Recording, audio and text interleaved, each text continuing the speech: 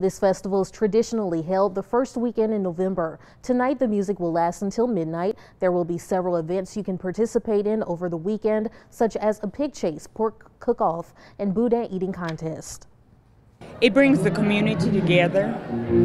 Um, it's a nice family type event. A lot of good memories, lots of fun, dancing, eating. You can now